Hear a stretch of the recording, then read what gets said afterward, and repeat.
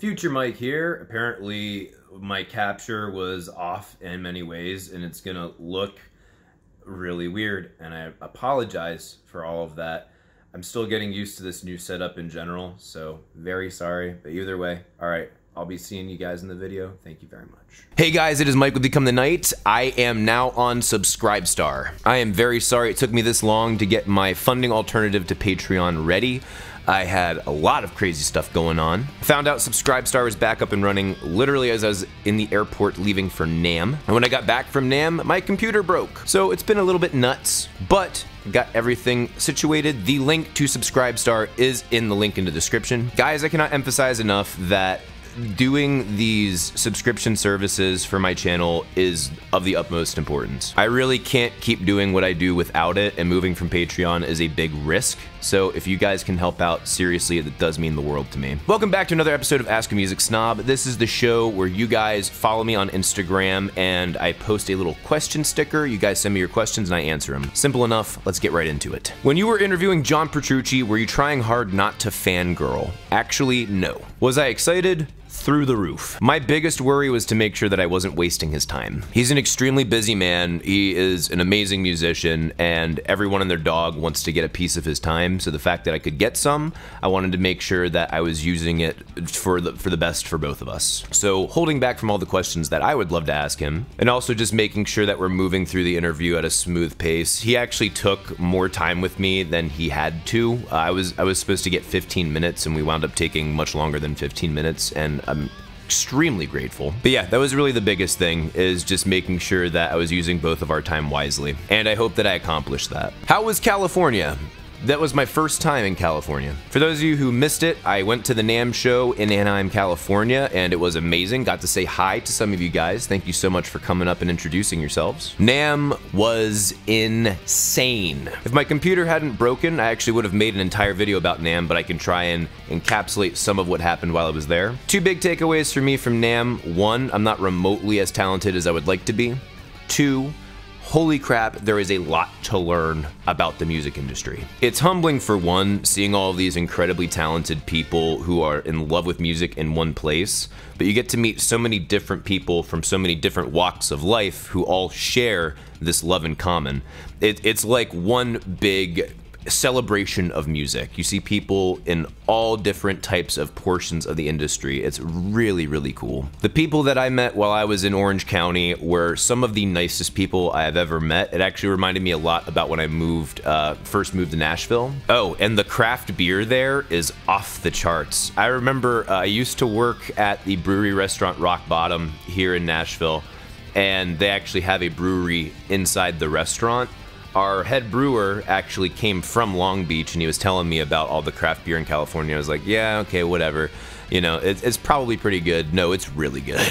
It is damn good. I also got the opportunity to meet up with some fellow YouTubers and meet some of those guys. And uh, yeah, that was pretty awesome, I gotta say. It's nice actually being able to, I, I think I've mentioned this before, being able to talk with people who actually understand what you're going through and, and what your job is like, especially guys that are at that talent level. I got to hang out with Samurai Guitarist more. That was a lot of fun. Is there a song that you love by an artist you despise? Uh, yeah, I absolutely love the song Thunderstruck by AC/DC. That intro is kick ass, and I will even say, I think the chorus is a complete letdown of this awesome tension and pounding driving force that was built up throughout the entire intro and then through the verse and then you get some of the bum bum bum bum in the pre-chorus and then the the riff in the chorus and is no just no. I wanted something much more anthemic and definitely i don't know less less fucking bluesy mixolydian type shit.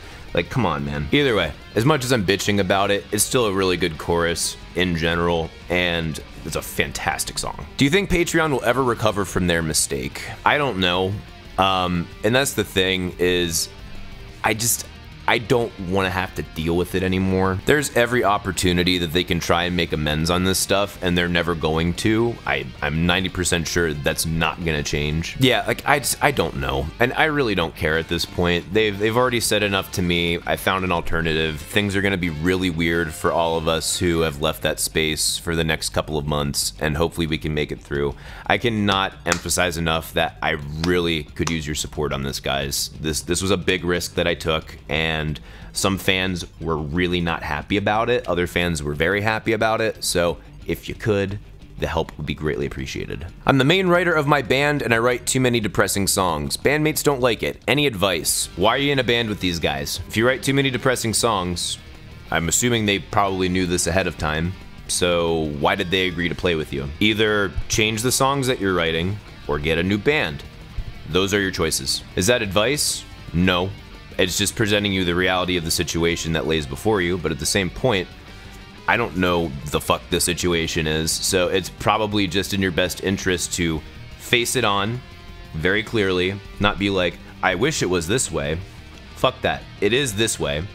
What choice? Go with your gut. Are all artists hopeless romantics? Uh, I think most of them, yeah. I think that's kind of a thing that makes an artist an artist is the fact that they are very emotional and very in touch with their emotions and that's also one of the reasons why a lot of them have drug and alcohol uh, problems. There is a certain amount of neuroticism that comes with being an artist, and yeah, I think that goes with being a romantic as well. What's the most you've spent on alcohol in one night? $150. Am I proud of it? No. Do I regret it? Absolutely. How to make a living making rock music from India. It doesn't have a huge following for Western music. It's actually very interesting you asked this question. One of the people that I met uh, my first lunch at NAMM was a guy who owns music stores in India, a guy who's like sells guitars and Western style instruments. I sent him an email. I hope he actually uh, responds to it because it'd be really awesome to talk to him some more.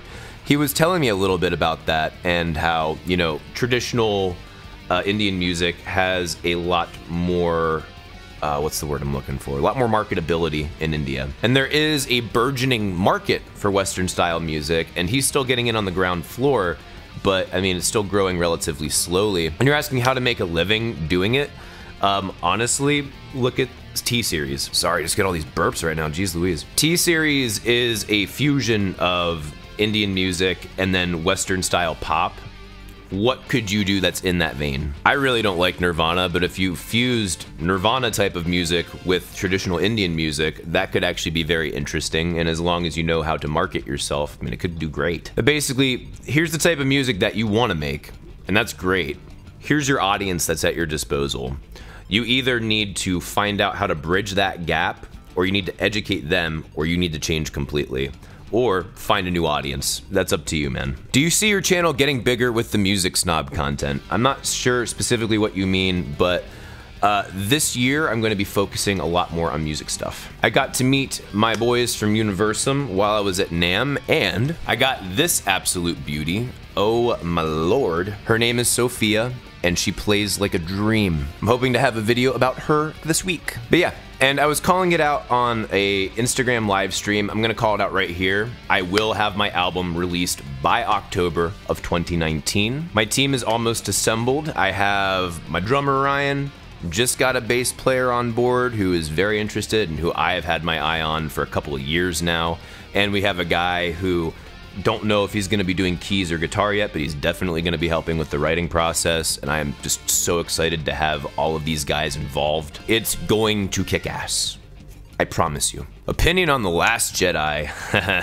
Honestly, I could make an entire video about this. But just put it this way. Um, I didn't hate it, but I definitely did not love it. It was way the hell too preachy. Structure and pacing was awful. I know this has been said a billion times, but the entire Canto Bight casino thing, stupid and useless. I actually timed my going to the bathroom and getting more beer in the theater when I saw Finn and Rose on screen together. I shit you not. That was the first time I saw it. And I am saying it right now, Rose Tico is the absolute stupidest character ever made in Star Wars. I don't mean stupidest as in it was dumb that they made her, I mean stupidest as in, as a character in Star Wars, she is the lowest intelligent quotient person. Yes, even lower than Jar Jar Binks. When they did the thing at the Canto Bight thing and they took the saddle off the dog horse thing and dropped it and she says now it's worth it, that's just dumb. I mean, literally verifiably stupid. Not just something that I'm like, oh, you're getting preachy. It's like, no, that's just literally dumb. And when she saves Finn's life at the end when they're about to have the giant mega cannon, and then she uses the the phrase,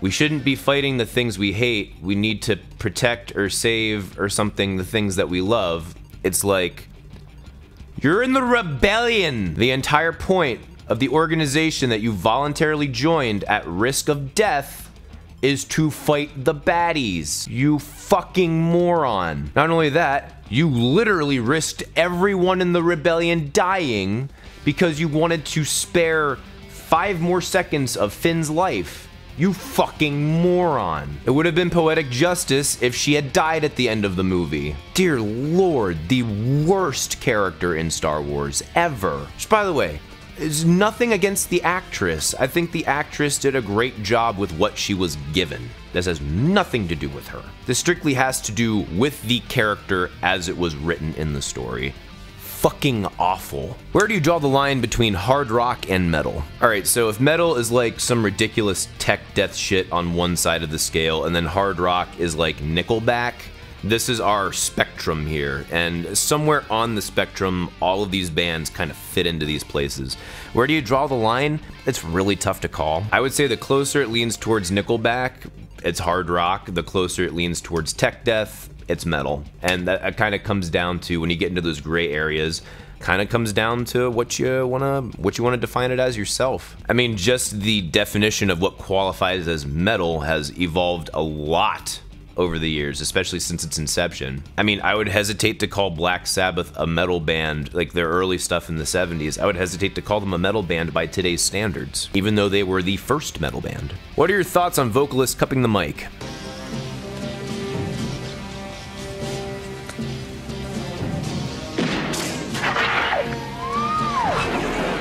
do your sound man a favor.